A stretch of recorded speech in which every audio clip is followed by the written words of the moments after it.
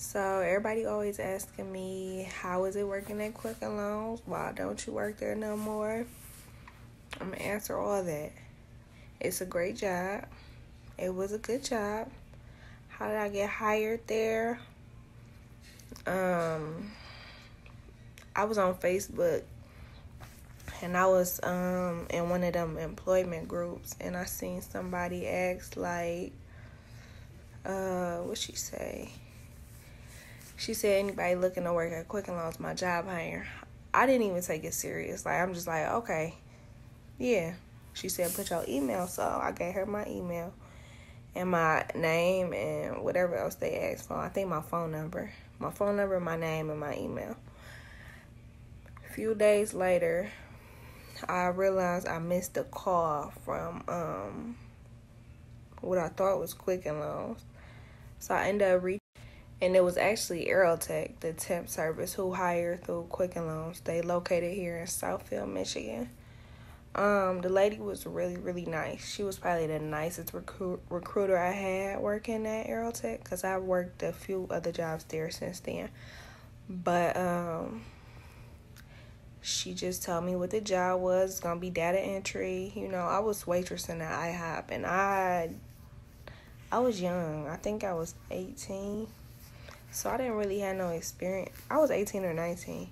I didn't have no experience at uh doing no type of business job. I was used to working in food and dealing with customers all the time. So I'm just telling her, yeah, I can do that. I can do that.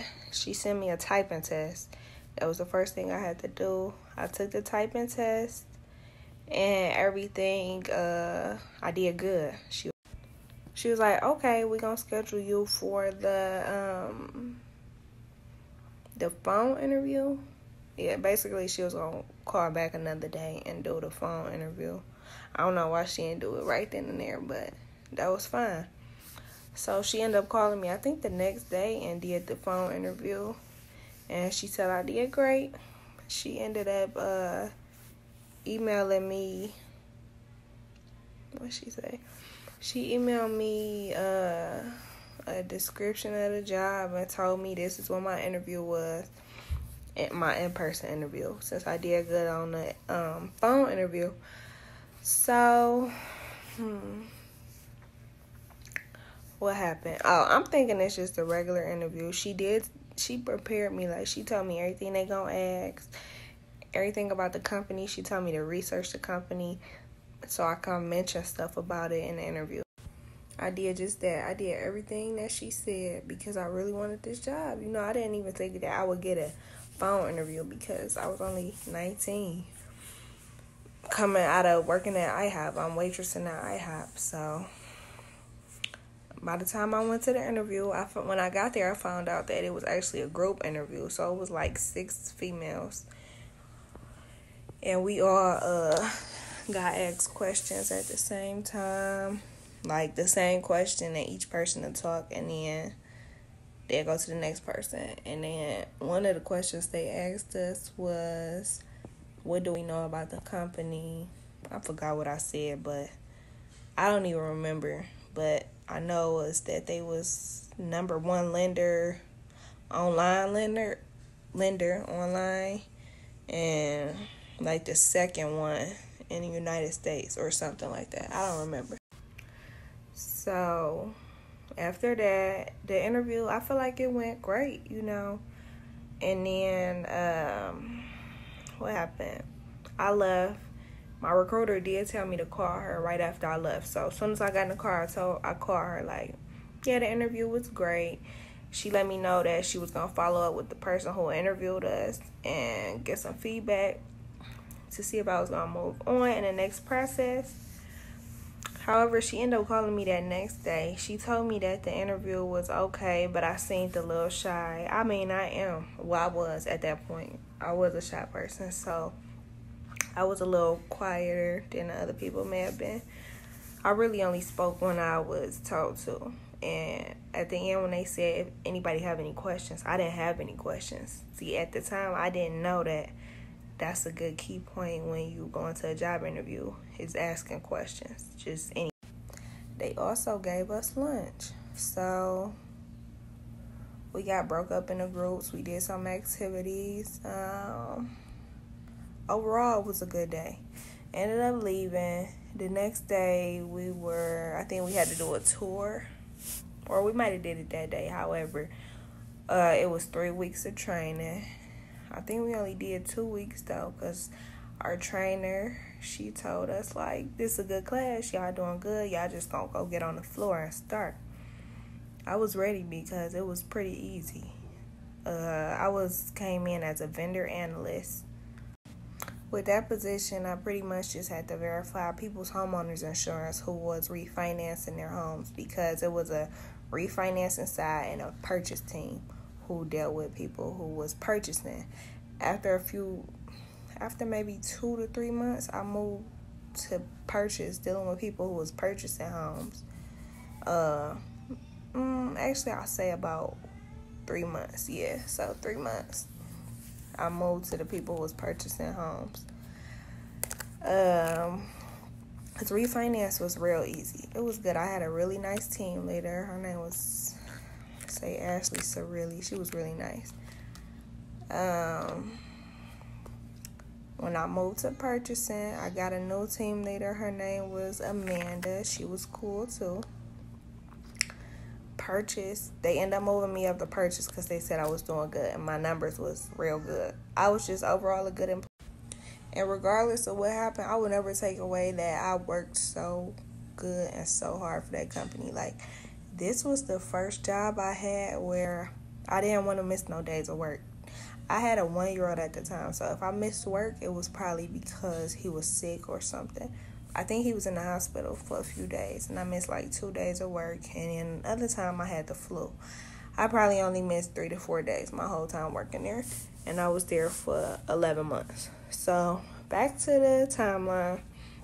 When I moved to the purchase team, I stayed on that team for about four months. Purchase was good, but we always ran out of loans, so we used to work on the people and refinance loans. My numbers got good there quick too because it was just so easy to me. And I wasn't focused on in the beginning when I first started, I was focused on getting good numbers, but then but then my team leader was talking to us, no people like, don't worry about y'all numbers. It don't matter what y'all got, just focus on learning everything. So that helped me so much. Like once I gained the process and knew what to do, my numbers just rose automatically.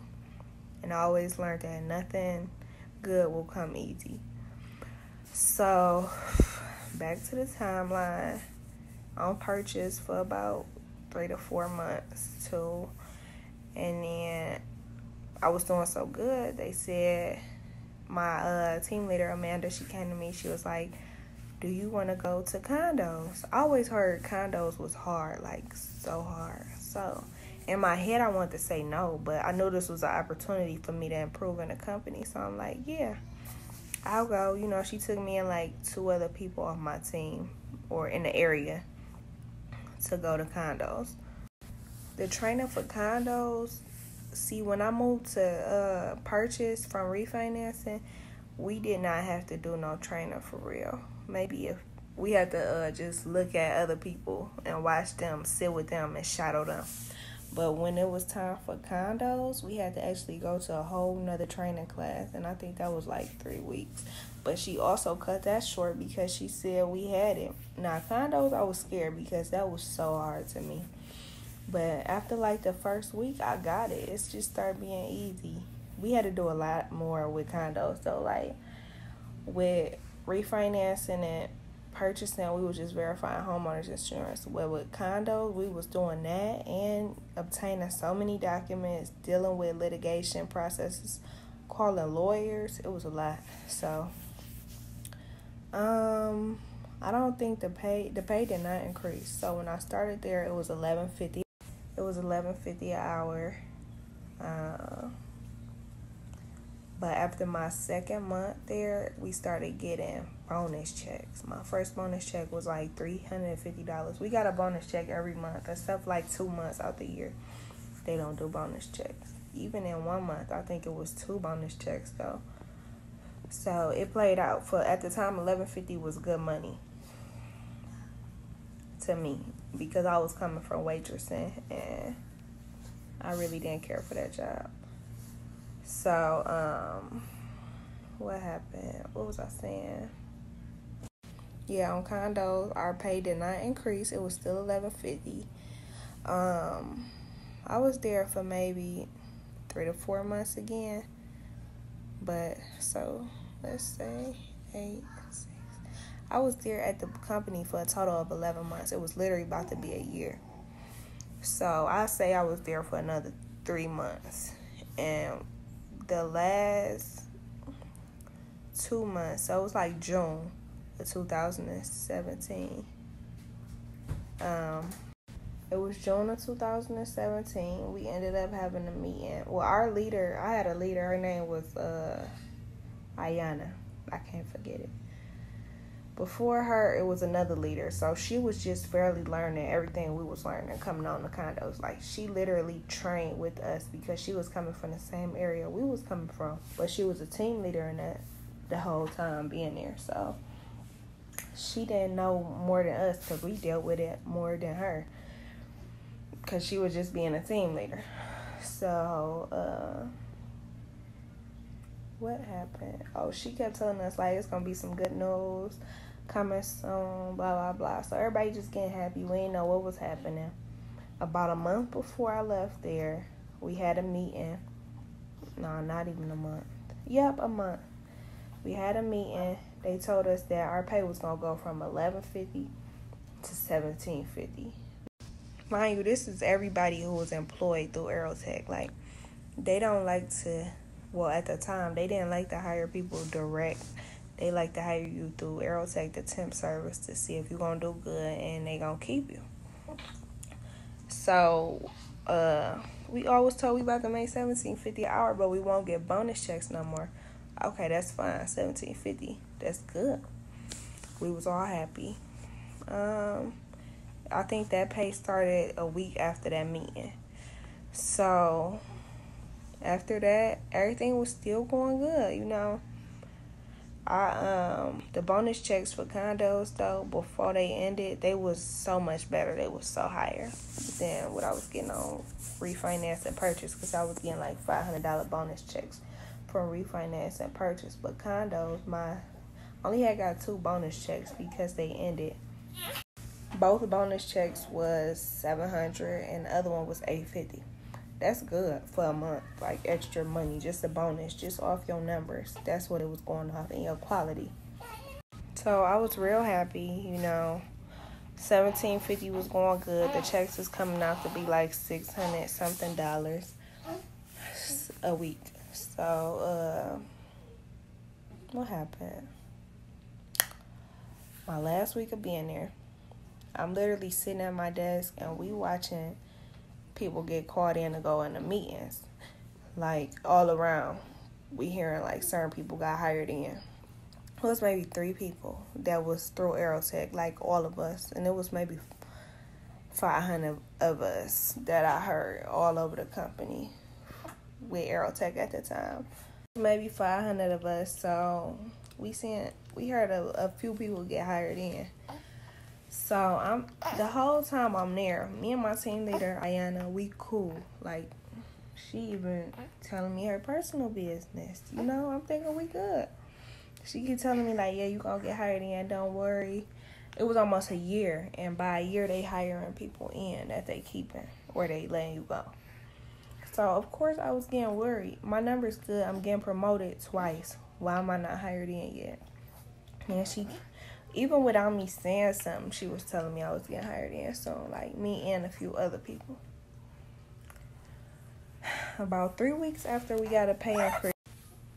So three weeks in after getting that pay bonus increased to seventeen fifty, we start noticing people dropping like flies. People always got let go of because they was doing wrong stuff or just weren't coming to work or you know they probably deserved it. But we start noticing people who usually don't do nothing wrong leaving. So we just like, okay, I'm getting scared.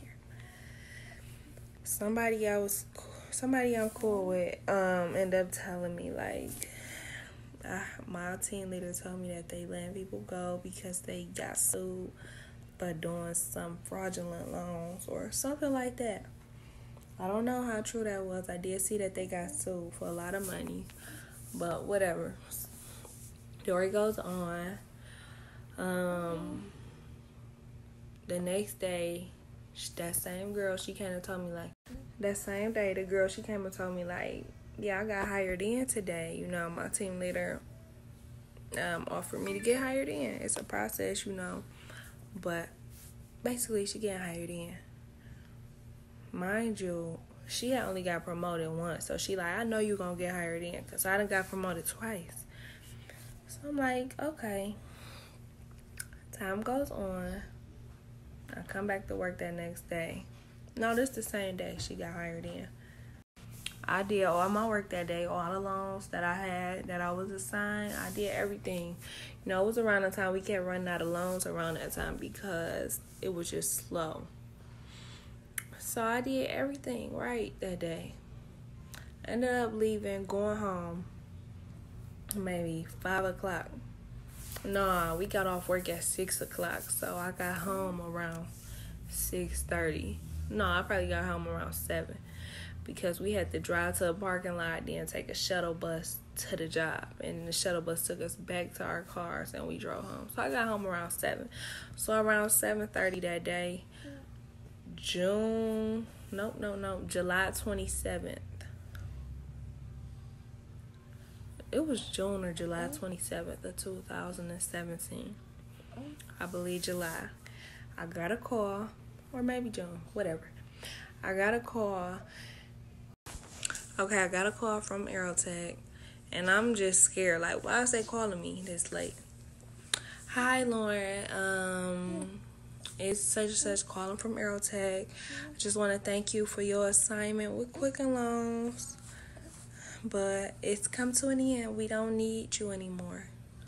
I'm like, what? She like, yes. Um, the position is overstocked or whatever she said. I'm like Okay. We got off the phone. I cried so hard. So, so, so, so hard. Like, my heart was broken. I have never had a heart broke like that. Like, my heart was so hurt. Like, I loved that job so much. Like, I was so mad. So mad. I even sent emails out to people. Like, uh, I don't know. I sent emails out I can't even show y'all because it's on the phone I'm on right now. Maybe I upload if I got them. But the emails was terrible. I should never sent them out, but I was so heartbroken. Like, don't do me like that. I'm doing everything right. I've never got in trouble there. Ever. I never got in trouble the whole time being there.